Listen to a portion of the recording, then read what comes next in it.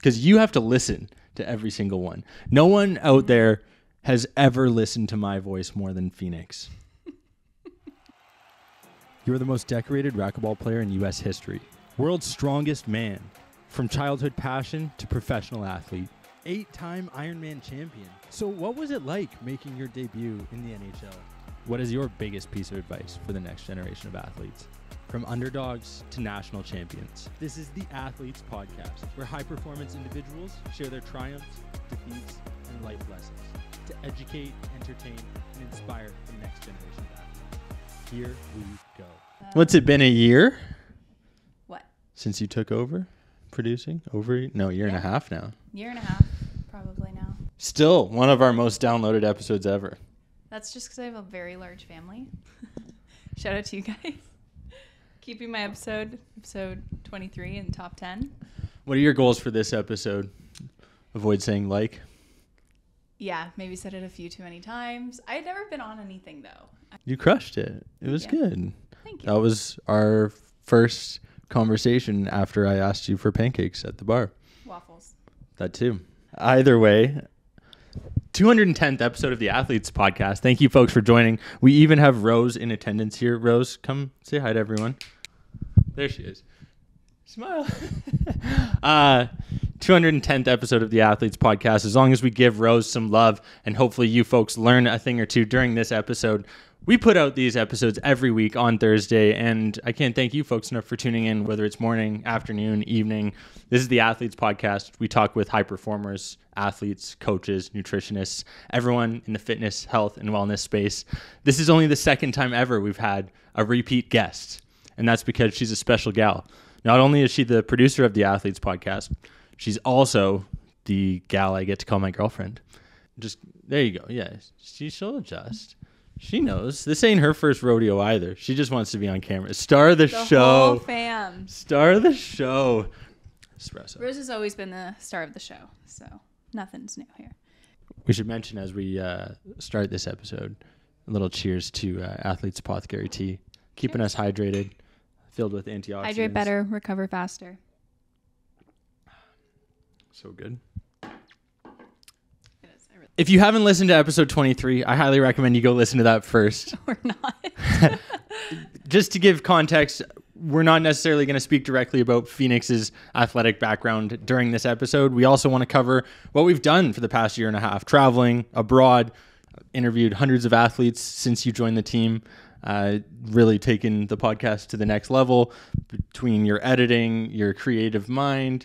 Phoenix is a social media marketer, the co founder of Rise Virtually, as well as the producer of the Athletes podcast. Someone who we're welcoming to the show for the second time. Phoenix, thanks for coming on. of course, I'm excited to be back. In For- front of the camera this time. in front of the camera, where most say you belong. Uh, and uh, most try and suggest for me to get behind the camera, but you know we keep showing up here and we keep doing this thing. Uh, I like behind the scenes, so I'm good with that. You do a good job. You Thank are uh, phenomenal at what you do. There's a reason why you have a plethora of clients under your portfolio now, under a year in the a year over the works now. For, Yeah, it's been about a year since starting Rise Virtually uh, back in January. After kind of figuring out what direction I want to take it, I have passion for marketing and um, I also have a passion for sports and athletics. So today I want to talk about athletes growing their online brand, their personal brand, because it's such a big industry now for athletes to be able to work with different companies, work with different sponsorships, and not only make money, but to be able to grow their persona as an athlete. it's crazy. Since the last time you came on, name, image, and likeness has become a thing, Yeah. right? That wasn't something in 2019 when you were in school. That wasn't something that kids, when during their undergrads, had the opportunity to monetize on their name, image, and likeness. Guys like Reggie Bush actually lost out on opportunities because they took a thousand bucks and some cash in an envelope. The unfortunate, I guess, the fortunate part. There's two ends to this, mm-hmm. right? The first being we're getting athletes paid, which is the priority, right? We had young athletes, NCAA athletes were getting taken advantage of for years, decades. Frankly, NCAA was taking advantage of it. The organizing bodies, the institutions, they were all uh, taking advantage of young athletes. That's not happening. Yeah, and when I was in school, it wasn't a thing to grow your personal brand as an athlete to seek out the sponsorships because that was against the code, that was against the rules. So I've had that, I have that background as being a varsity athlete, played golf, played soccer, as Dave previously mentioned, but now I'm able to apply that and share that mentality and now my knowledge as the co-founder of Rise Virtually, a marketing agency where we work with all different individuals and clients in order to grow their online presence. So I can combine my two worlds in order to help current athletes and future athletes monetize on their their name, image, and likeness in Canada as well as the US. Whether you're a high school athlete, whether you're a university athlete, you now have the ability to monetize on who you are as a human being and the work that you've put in in your athletic sport. And it can seem daunting to be able to like to do it. It's thinking of creating and editing all this content and putting it out there and that for some people it might feel like they're taking away from their sport or their training that sort of thing but you can make it very a very seamless process. Documenting simple things as such as behind the scenes of your training what does your workouts look like what does your nutrition look like what is your day to day what is your bond like with your teammates what are you wearing to game day? Like little things like that are what people are posting about and you want it to you're building a relationship with your followers and with your community. They want to get to know the real you. So starting just from the basics you just need to share your life and your journey as an athlete in order to grow that audience naturally and organically. We're not asking you to become social media influencers okay? You can still be your hockey soccer basketball volleyball playing self. Toss your camera on at the same time right? You receive a package film it. Unboxing, super simple. Now, I say this, I'm terrible for it. Phoenix can attest to this. I don't always like being in front of the camera. I run a podcast, I've been doing this for four years. There's pros and cons to the life that we chose. The fact of the matter is, now as an athlete, you need to also understand that you have a presence online, and that matters. There are NCAA institutions that are recruiting based on how many followers you have on social media. That is a wild thing to wrap your head around as an athlete. It maybe sucks. It's the fact of the matter, though. It's a subjective sport sometimes, a subjective world, I should say. And you need to be aware of the fact that, hey, if you have other aspects to you that are exciting, your personality, the fact that you like mayonnaise or any other subject, you know, I'm using Will from Will Levis, the mm-hmm. Tennessee Titans quarterback. He's got yeah, a Mayo it, deal now, like mayonnaise. Did just you? keep it simple. Keep it authentic to who you are. Like we said, like set up your camera just as you're training, like your phone on the ground, wherever. Get a little tripod stand if you want to go the extra mile, or create an aesthetic if you want to go that extra mile. Like what does what is your brand? What are you representing? What do you want your audience to see? Whether you're feeling like you're sharing with just your family and friends or people around the world just share who you are. It doesn't have to go super personal, but share what your life is like as an athlete. And just start now. Just start doing it. There's not a better time than today. And be so impactful for your career. So, you want to know the top five NIL valuations right now, according to uh, on3.com? Go for it. Coming in at number five. Do you have any guesses? If I was to give you the names of the five, would you rank them one to five? Would sure. you do that? Okay. So we have Livvy Dunne is one on the list. Mm-hmm. Mikey Williams, basketball player. Arch Manning, football player, also grandson, son of some other Manning brothers. Mm-hmm. Uh, Bronny James. Did I say that? Bronny James, Arch Manning, Mikey Williams, Caleb Williams, and Livvy Dunne. Can you rank where those five would be? Also, the fact there's only one female on there, we're fixing that too with Cook Stark Management. Is one like one being the top? You mean yeah. for the most that they're making in NIL? Yeah. I'm gonna say Livvy Dunne's probably number one. She's not eh. number one. I'm gonna say she's number two then. Eh. Really? I am shocked. I don't know. She's always all over social media, so she's number five. It's okay. Wow. I, I think this might be old. Uh, That's got to be old. I'm assuming it's yeah, it's old. Um, it's old. James. Yeah, Bronny James. One. Bronny, Bronny James. James is number one. Um, either way, the fact of the matter is, there's a broad scope. There's a football player. There's a basketball player. There's a gymnast on there. There's a basketball player. You have options as an athlete. You are not handcuffed based on what sport you play. You simply need to take the opportunity that you have right now in front of you and action on it. Mm-hmm. It doesn't nowadays. It doesn't matter what kind of amenities that your sport receives or the funding that it has. The content that you make can generate that con- that income for yourself and that profit and create the experience that you want it to be. So just because maybe the school that you chose doesn't have state of the art facilities, you can still make engaging content that grows your audience that's going to make that experience for you that much better and provide products or brand deals that are going to help with your training and further your training. So, regardless of the school that you attend or the sport that you play, that you can still train at the top level and reach your career goals in that sport. And it's also as easy as making sure that some of the products that you use are incorporated into your videos. Like this week's episode sponsored by Athletes Apothecary, some high quality tea for athletes to make sure that you are hydrated, rejuvenated, and energized. But we also just drink this stuff every night. So it's not hard, right? Work with brands that you like. Like look into your closet, look into your everyday activities and see what are you wearing, what are you consuming, and what are you interacting with and go after those brands. Reach out to those brands or do content in those brands consistently. And if you develop enough of a following, then they'll be reaching out to you, hopefully. So work with brands that you authentically enjoy and consume and want to be a part of because that's going to make your content go a lot further. Your audience is going to see it's an organic relationship and it's not being forced into something that you don't typically use or enjoy.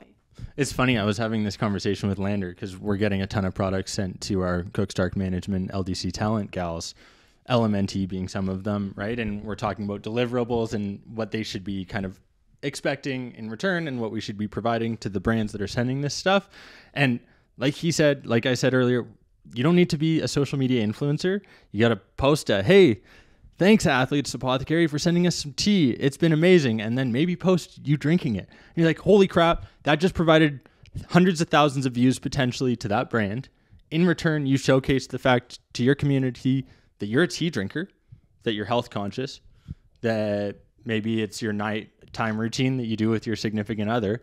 And now you might have other opportunities. You might have a blue light blocking glasses brand reach out to you because they see the fact that you're using blue light blocking glasses when you're drinking your tea at 9 p.m. Mm-hmm. And then you've got a magnesium company reaching out because they know the benefits of that for sleep.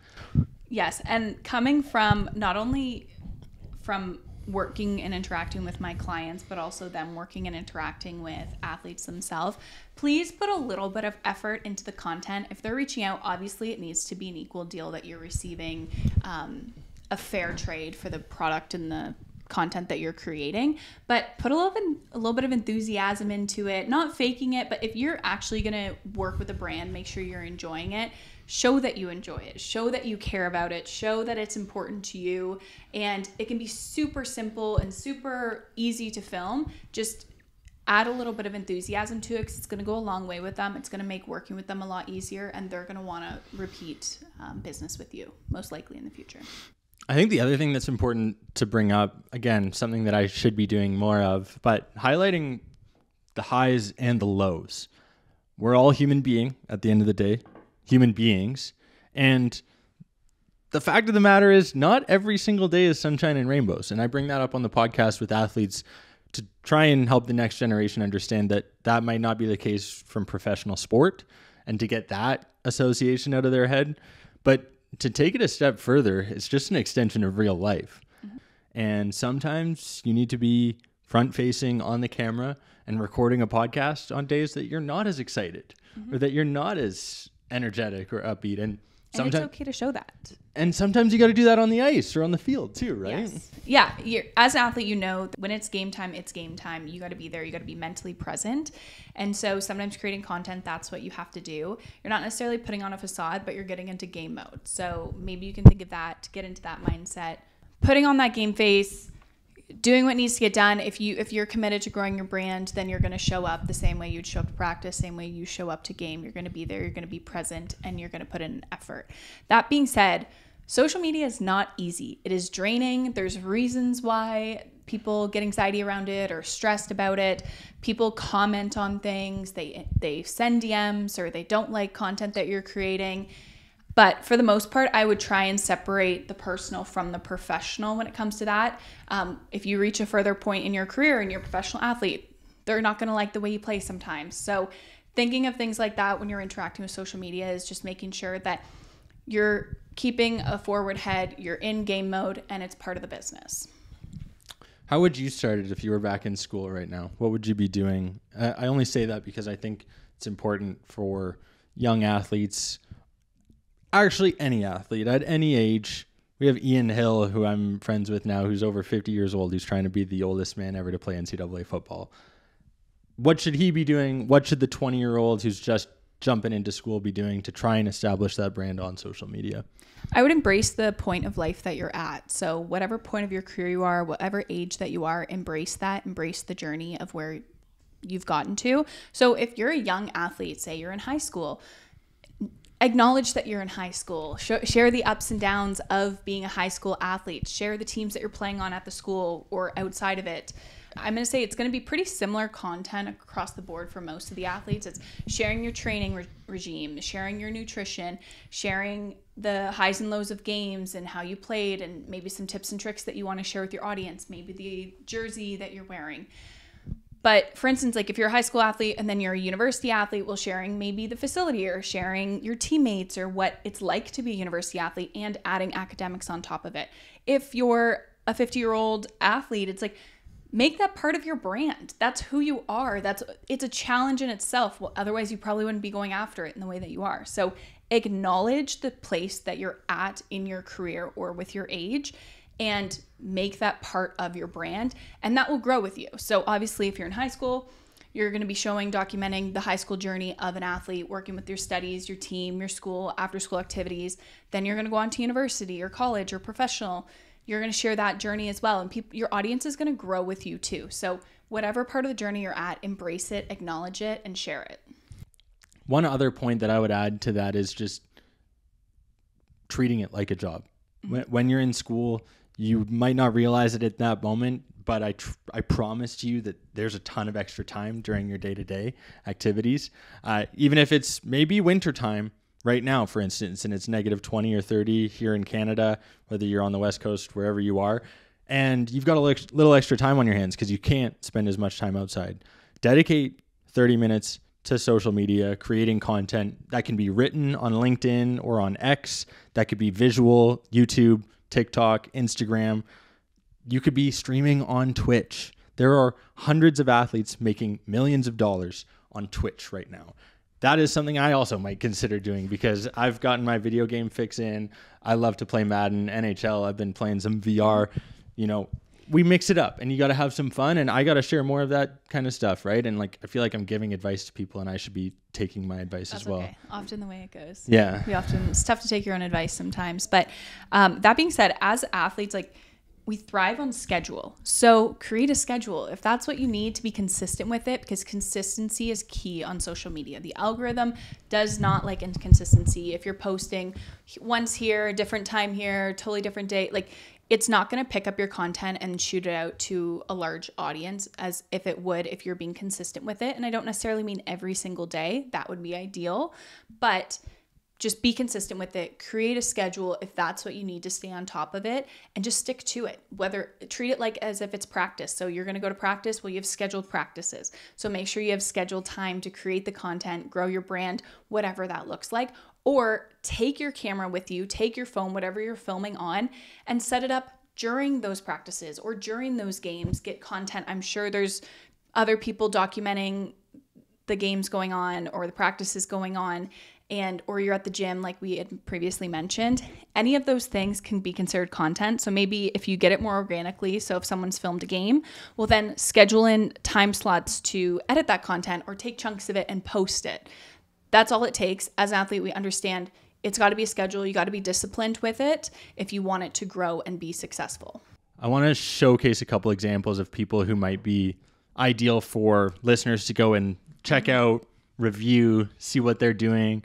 Uh, the first being Mitchell Pelkey. I'm sure you're going to put a nice little photo, image, thumbnail the frog of him doing the whatever that one is. Uh, that one's all a little kickstart for him. But he's obvious creator who's crushing, He's it right it, now. Ohio State lacrosse player, Div One. Obviously, there's a ton that comes with attending a university, and institution like that. Got to use what you got. Emma Malte, same thing. She Yeah. was able to build her brand. I also think of someone like Mitchell Hooper, who a couple years ago was competing in bodybuilding competitions down in Australia and is now world's strongest man and has over 100,000 Instagram followers and has been able to basically over the span of, you know, three, four years, build a following that he's going to have for the rest of his life mm-hmm. because he's now marketed as the world's strongest man. And as an athlete, it's a little bit easier to find your niche when it comes to that. For instance, he chooses in the gym comedy routines and it he's in the gym. That's where he is. That's his sport. He's showing the humor behind the highs and lows of that training. And so as an athlete, you already have that niche. You have your sport, what you're doing. And so people are going to tune in because that's the content that they want to consume. Yeah, uh, you bring up comedy and gym. I have to think of someone like Rebecca, Rebecca. Fusilier. Uh, Hilarious. You have to go check out her stuff if you haven't. She's so funny. she's the best. Uh, so authentic. yes, and like just if you are into gym, health, fitness, CrossFit, dog content, you will love what Rebecca's putting out there. It's amazing. Uh, I flew down to Dallas, Texas, to be able to have her conversation. She's absolutely hilarious. I'm trying to think of some others who we've had on over the past four years who do a great job in the social. Muno does a good job at creating content, and hers is simply her traveling and competing, and it's Nutrition. incredible content. Yeah, and her And nutrition. yeah. and all natural makeup brands, that sort of thing. But that that's all encompassing what she believes in and what her foundation is as an individual, and that share shows through all of her content. The other one, uh, Monica Clisara. Yep. Definitely, uh, we filmed when we were in Toronto. Actually, that was over a year and a half ago now. But she, from the time of recording, within roughly three months, she had signed her WWE NXT contract. No big deal. We're not going to say it was all because of the athletes podcast, but it definitely didn't hurt the additional exposure she received there. Uh, Demi Chalkias, who we met up with during the first AP tour up in uh, Bowmanville. Bowmanville. Shout out to Bowmanville chocolate ice caps. We had those there. Trust me. Just made with like chocolate milk. Yeah. Yeah, you can get those at Timmy's. Okay. Well, sorry. It was she asked for them. I brought them. You know, that's what I remember about Bowmanville.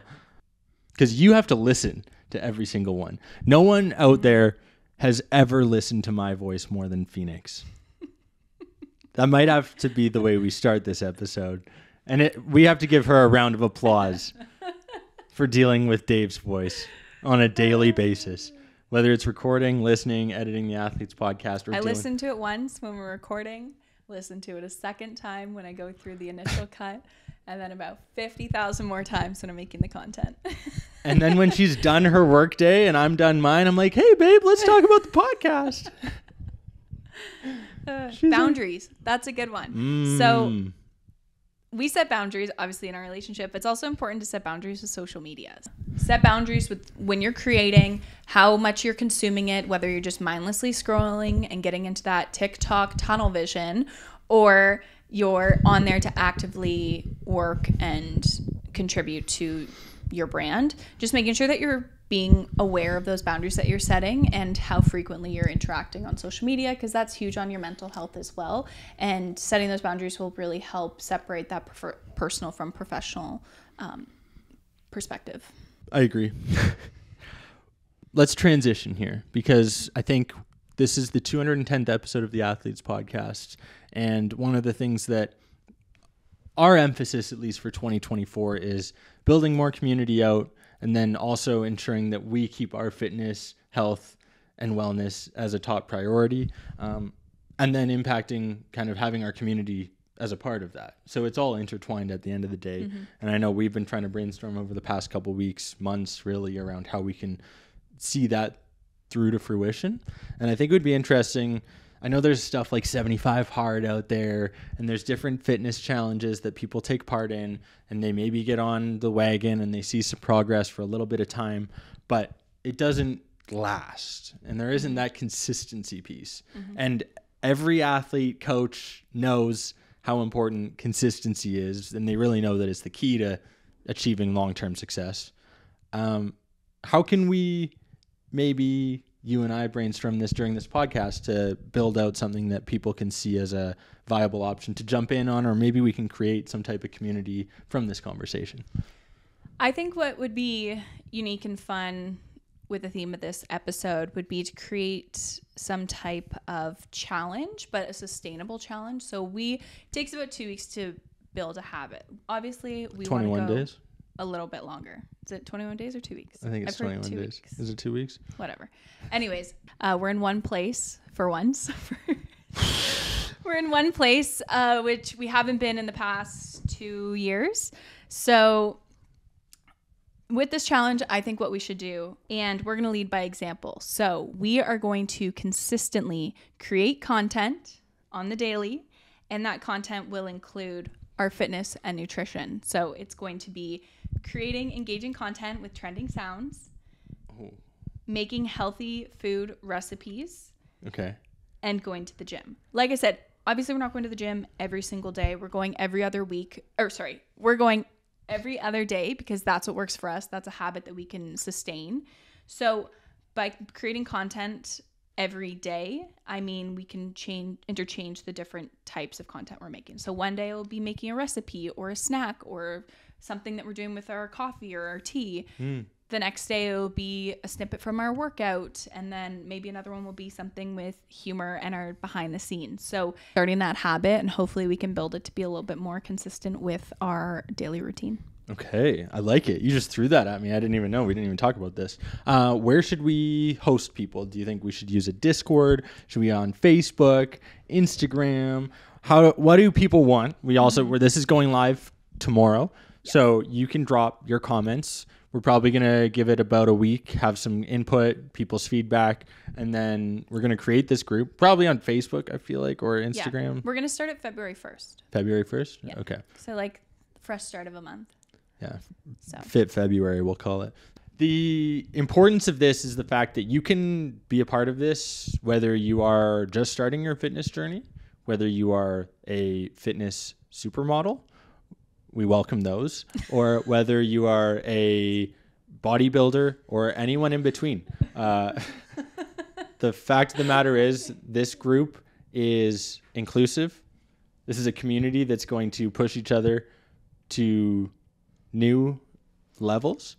I think it could be fun for anyone participating, and that can be coaches, parents, athletes of all different ages. And I think just being present, whether you're creating the content yourself or you're engaging with the content that we're creating and being part of this community, whatever way that participation looks like for you, we want to join you into this challenge. We think it's going to be a lot of fun. I'm hoping it's going to build some habits that we're going to be able to sustain and keep going forward with our brand because we're building our brand here too on the athletes podcast as individuals On TikTok. on tiktok follow at fee and dave Yeah, a little, little humble plug there. Little fee dot Dave at fee dot Dave, 1.7 million views. No big deal. We're kind of a big deal on TikTok couple channels.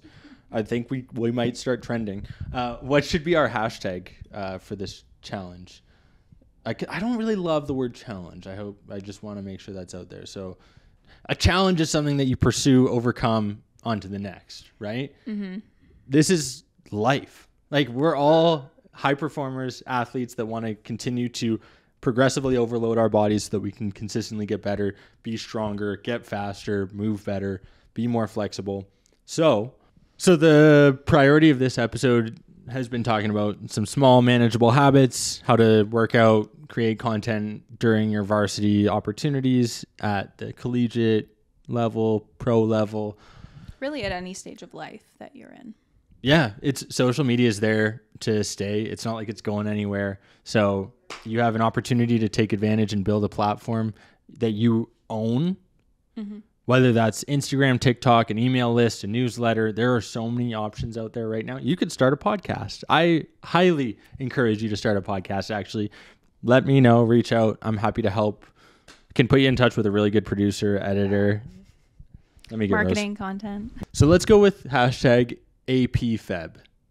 APFEB. A-P-F-E-B. E And every single day, the goal is either to post a video of you working out, a video of you eating something healthy, nutritious, drinking something healthy, nutritious, like Athletes Apothecary tea, or maybe strategizing, planning, creating that content, even if it's just simply going for a walk and posting about that. Or AP, anything towards building your personal brand and in turn, we will ensure that we share that on the Athletes Podcast platform. whether you're on Twitter, TikTok, Instagram, we're going to make sure that we are all over that. And in turn, we're going to have merchandise by the end of February.